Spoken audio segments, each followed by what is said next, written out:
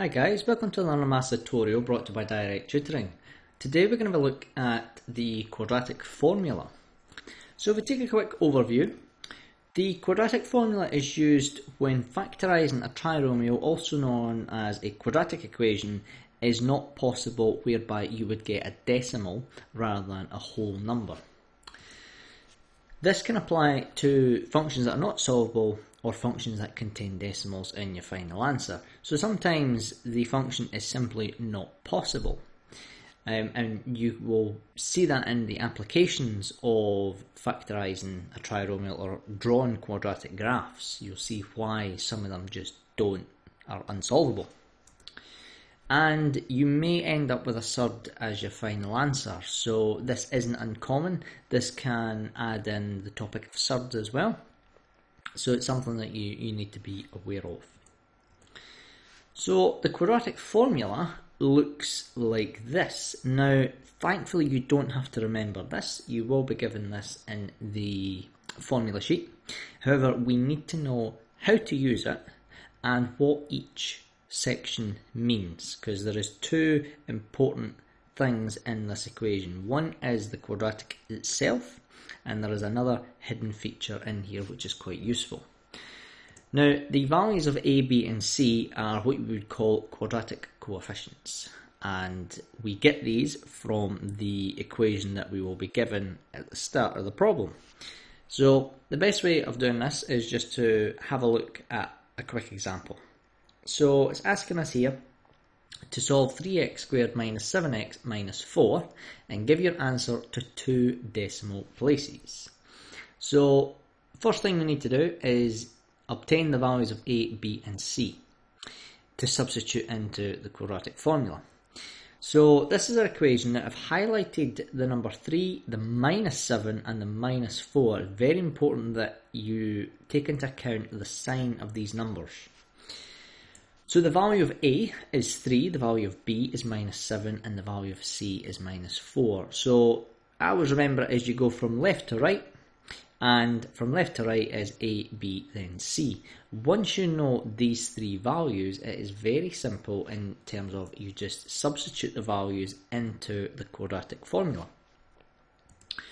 So if we take the quadratic formula but we have to be careful of the negatives because we have a value of b and a value of c is negative.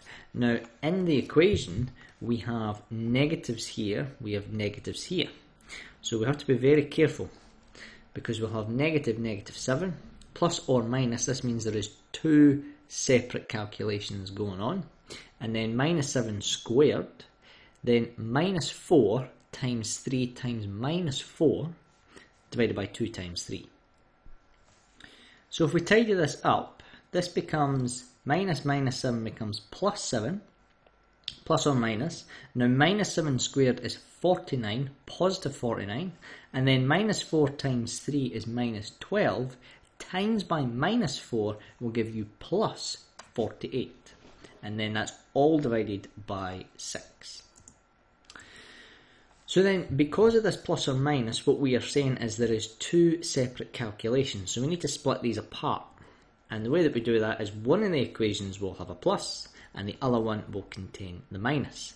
Now all we have to do is simplify these to get our decimal answer. Now if this was a non-calculator paper, this would be a solvable surd but this one is a calculator question so you would just fire this all into the calculator and then you would get 16.85 and minus 2.85 divided by 6 which gives you your final answer of 2.81 and minus 0.47 and that's how you would go about solving quadratics using the quadratic formula. However, just a few things to note that the quadratic equation can be used to solve any trinomial question.